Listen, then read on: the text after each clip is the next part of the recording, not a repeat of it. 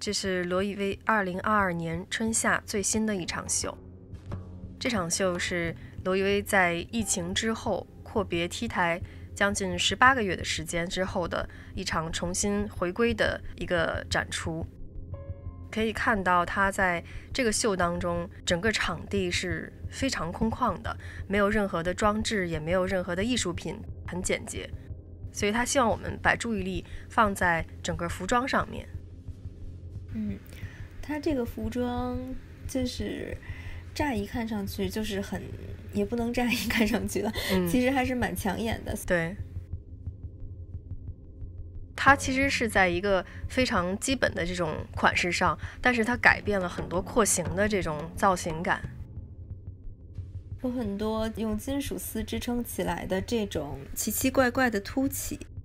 可以从这个当中感觉到一种在日常的服装当中挑起的一种不安的情绪，然后一种非常紧张的这种感觉。所以说到这一点的话，就可以引出他这一场秀的一个设计主题。其实我觉得每一次每个设计师他在设计的时候，这个过程可以说是又复杂但是又简单的。就你需要找到一个灵感，然后。对它产生一种情绪上的共情，然后同时在这个灵感当中去挖掘你的廓形、色彩，还有一些细节，而你能挖掘到什么程度，就体现出一个设计师他的一个功力。那这一次，Johnson Anderson 他是从一个16世纪的画作当中去捕捉这个绘画它的一个色彩，包括它的情绪，因为这张画是在1528年在意大利的佛罗伦萨。是由一个叫彭多洛姆的一个画家，他所画作的《基督下葬图》，所以我们可以看到这个画上面所有人物的这种情绪是非常的悲伤的，而且是有一种神经质的一种感觉。所以 Anderson 他在这张画当中就捕捉到了这种情绪。他觉得我们现在在疫情之后，虽然回到了正常的一个日常的生活，但是其实又不是原来的这种日常，它还是会有些变化，在人的内心当中会留有一些不安的情绪，所以他把这两种东西有一个共情的感觉，找到了一个共通点，包括可以看到现在秀场上很多这种。服装的色彩，还有它的这种造型，就是这种突然凹起的这种身体的变形，也体现出这个绘画在这个时期它的一个区别于同时期像文艺复兴时代的那些很均匀的、很讲究比例的这些画作非常不同的一点，它会很夸张，追求一种不对称的东西。所以我们可以从这一系列当中看到这种夸张的廓形，这种不对称的比例的感觉。比如说这套就非常的就有点怪异的感觉，披在身上的那个有点像翅膀一样的东西。然后你看他的模特身上的这些悬垂的这些面料雪纺，也很像这个画当中披纱似的这种服饰。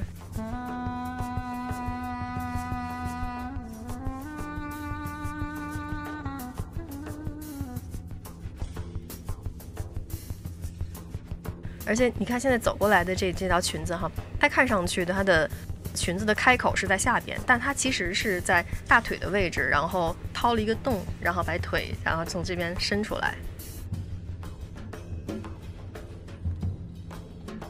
对你有没有注意到，就是它的高跟鞋的鞋跟儿很多就是用了像玫瑰花啊，还有那种被压碎的鸡蛋的那种。像这些就是其实是我们日常中非常常见的东西，但是他把它放在鞋跟这么一个位置，就感觉非常的有那种危险的紧迫感啊，有一种不安的，也是体现一种不安的那种情绪。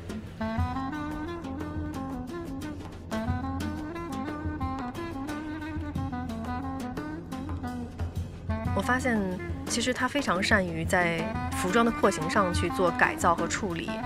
包括你看那个，他现在这个模特穿的这种双色拼接的这个塔夫绸的这个运动服，它也是在拼色的位置扩大了服装的松量，然后让它看上去有一个有一个蓬起来的这样的一个造型。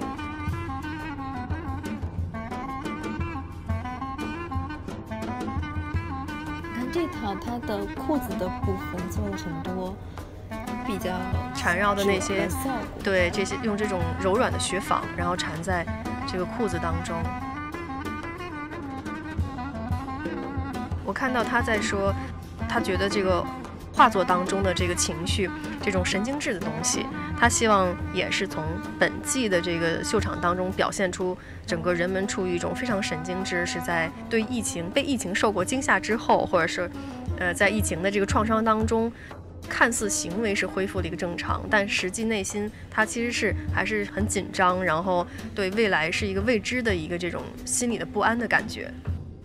是的，嗯，记得他有提到说，现在就算是生活逐渐恢复了正常，这个带引号的正常，但但是其实是与往常过去是完全不同的。嗯嗯，它是融合了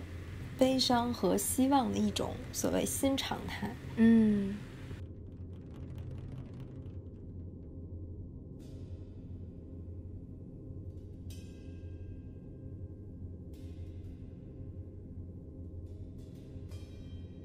他这次有很多的连衣裙，都是用了一种像是这种视觉的错觉感觉，就是超现实主义当中的一个表达方式。他所有的服装几乎都是不对称的造型。对。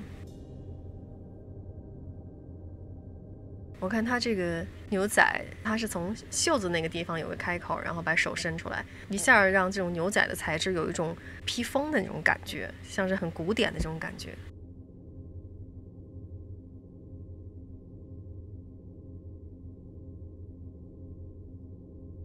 这一套又非常的就闪亮，布灵布灵。对，然后它的特色也是，你看它这个腿伸出来的地方，它其实并不是它裙子的开口，而是就是有一个破洞的一个设计。这个你不仔细看，还真的不太会能注意到这一点。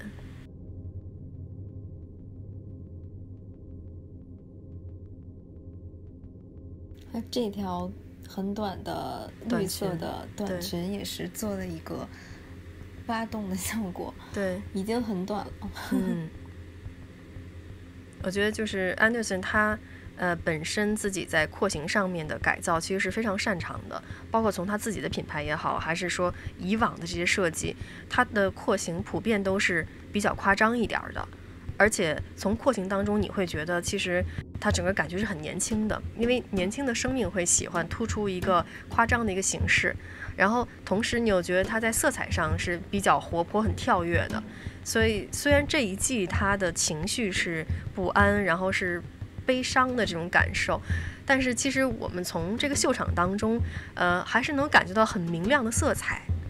就可能也是他希望就是疫情过后还是能赋予大家对生活的一种希望的感觉，因为他是比较。我觉得对于他的作品，我感受比较多的是，他挺愿意去探索这种不同的对廓形，还有比例上面的一些，对，就是一直在不断的尝试，不断的去试验在服装上。嗯，对对对，包括他自己的品牌和鲁薇薇都是感觉都是在一个探索的过程当中，而不是一个结果。对。刚才有出现很多这种针织的面料材质和这种树脂的这种材质的拼接，其实我们刚才也在研究说它这个衔接处是怎么去处理的，有可能是一种热压的这种方法，但它因为我们在想可能不太会是传统的这种缝接的方式，不然它的完结工序其实是很难处理的。但它其实刚才这个廓形，它也是来自于就是一九六零年代的时候，Claude Lallienne，他是一个法国的一个雕塑家，他当时为 Yves Saint Laurent 所设计的一个产品的一个系列一个作品。我们可以看到这个系列当中用了很多金属的元素，包括这些服装上的面料的图案印花，也是来自于 p o n d e l o m 的画当中。看上去就像是融化了的颜料的色彩的感觉。Johnson Anderson 把现实中的这种服装和16世纪文艺复兴时期的风格主义的画，用一种近乎于歇斯底里的情绪连接在一起，它使两个不同的时空产生了这种共情。